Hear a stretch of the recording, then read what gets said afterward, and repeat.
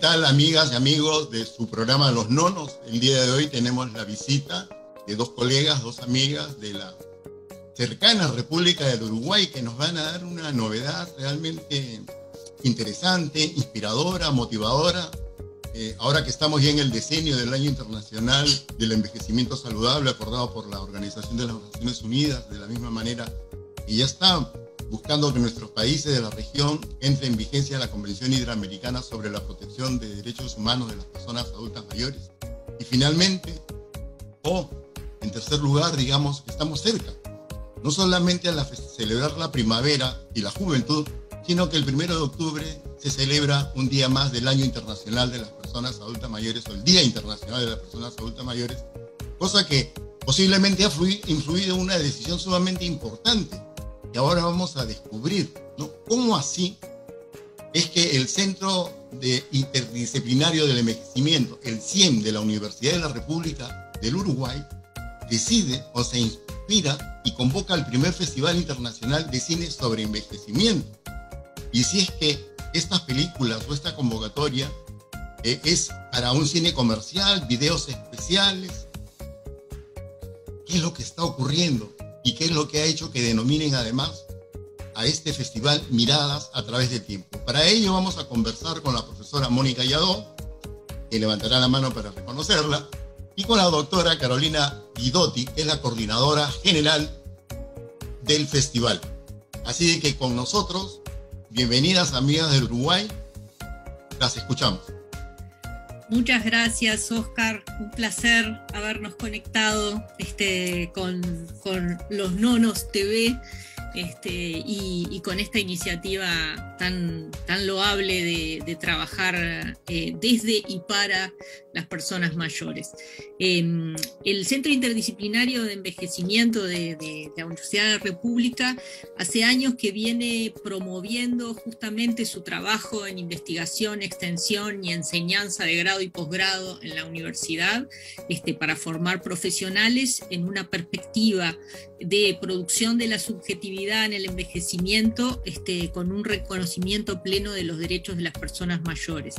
Este, eh, obviamente que el festival eh, es una estrategia, ¿no? Una estrategia para convocar, invitar a reflexionar y a pensar sobre eh, las cuestiones que hacen al envejecimiento. Quisimos hacer la convocatoria más amplia posible este, para entender lo que significa el paso del tiempo, no solo en las personas, también en las instituciones, en los países, en la cultura, este, en la naturaleza.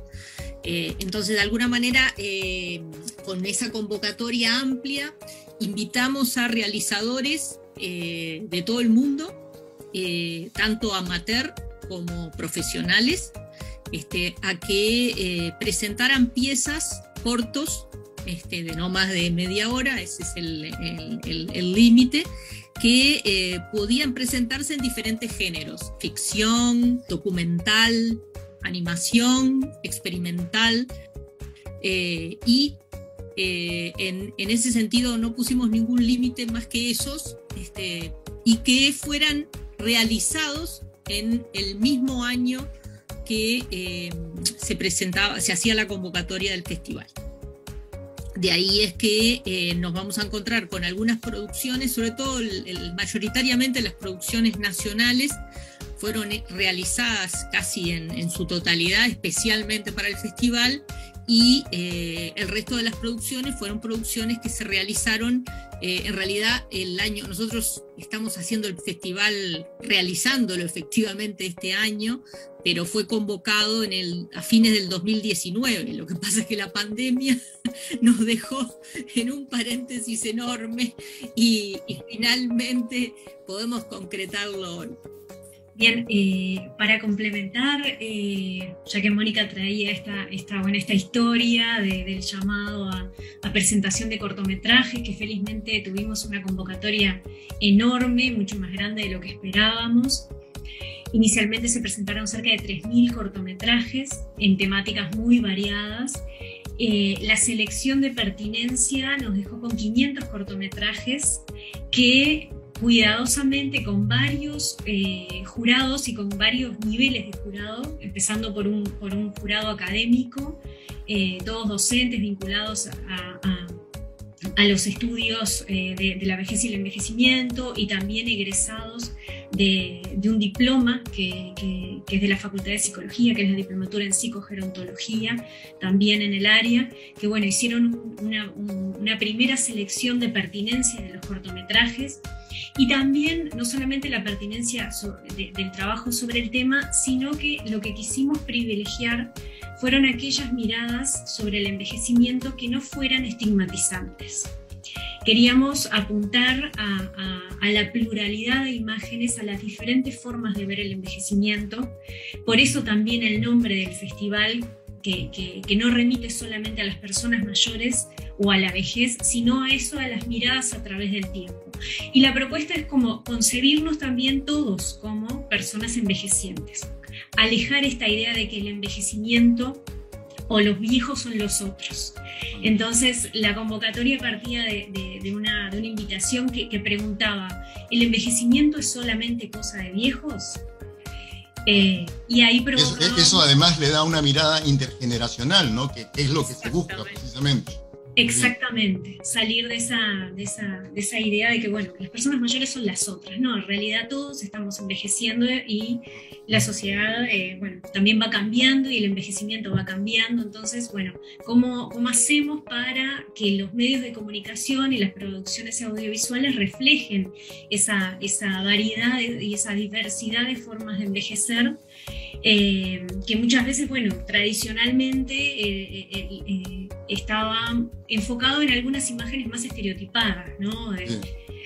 Más, más asociada a la vejez, a la, a la discapacidad. cuide, cuide a su adulto mayor, ¿no? Con el tema de la pandemia también esto, en vez de haber favorecido, ha sido sumamente duro para remarcar los estereotipos y las visiones estereotipadas. Yo creo en parte que esa sería una de las grandes contribuciones de este primer Festival Internacional de Cine sobre Envejecimiento en la Universidad eh, de la República de Uruguay, ¿no? Eh, está convocando y del Centro Interdisciplinario. Esto nos da a entender que son diversas las facultades, diversas las miradas y eso también es sumamente importante. La vejez no es solamente el tema de la, geriatría o la gerontología, sino es un tema que, ver, que tiene que ver con todas las edades y con todas las personas y con todas las profesiones.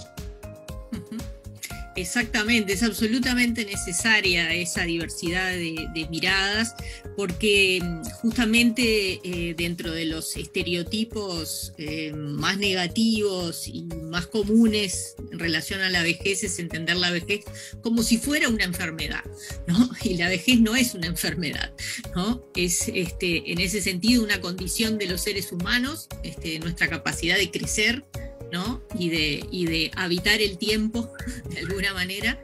Este, entonces, en este sentido, es necesario considerarla en su, en su diversidad para poder justamente reconocer esas otras dimensiones que por estas miradas prejuiciosas quedan muy eh, ocultas ¿no? de lo que es eh, la producción subjetiva del envejecimiento y del paso del tiempo, de la importancia que tiene eh, el paso del tiempo en la vida de las personas y en la vida de las sociedades.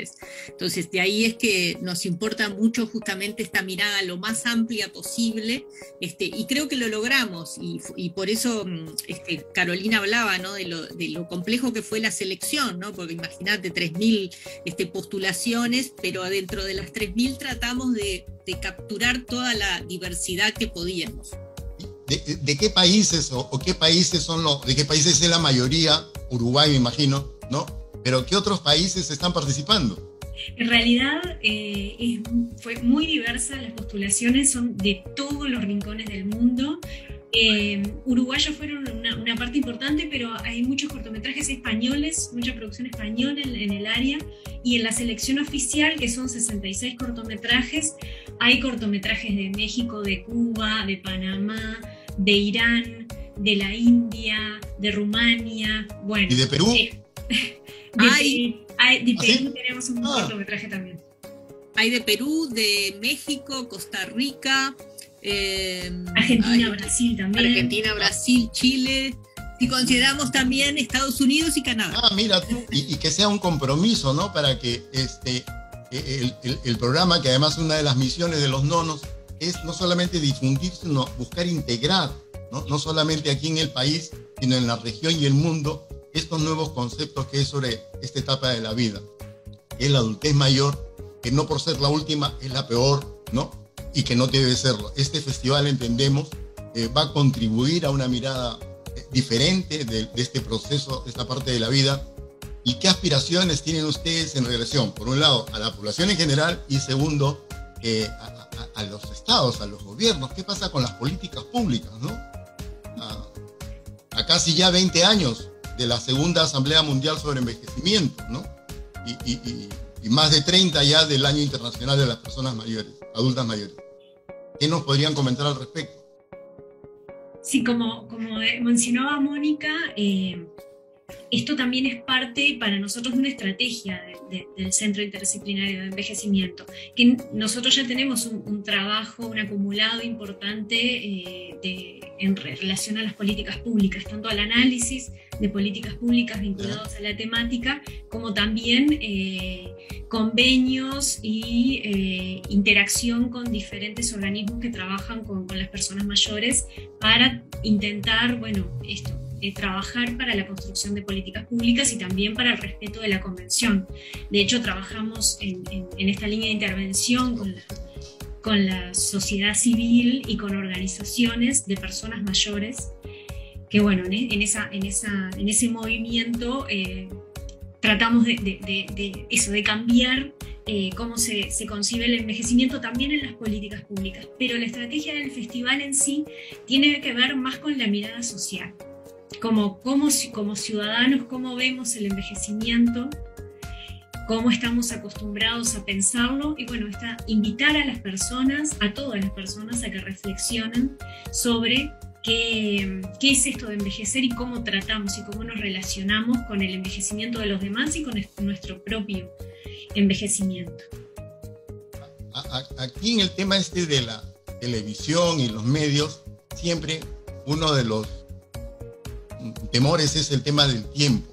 Así es como para ir cerrando este diálogo inicial, porque esperamos a partir de la presentación del festival y de esta primera conversación, poder profundizar ¿no? las ideas, los conceptos y las experiencias que ustedes han adquirido o logrado en Uruguay para poder compartir esto ¿no? con, con la teleaudiencia de su programa Los Nonos. Entonces no solamente agradecemos a la visita el día de hoy de la profesora Mónica Yadó y la doctora Carolina Guidote, coordinadora general del primer Festival Internacional del Cine sobre Envejecimiento, sino además agradecemos el compromiso que acaban de asumir en compartir este enlace y que de esa manera todos los amigos y amigas de su programa Los Nonos podamos disfrutar de esto y toda la región y todo el mundo, el proceso de vejez y esta etapa de la vida que es el envejecimiento, desde el programa de Los Nonos, nuestra gratitud y aplauso y reconocimiento por esta iniciativa genial que han tenido, esperamos sea replicada en otros países brevemente,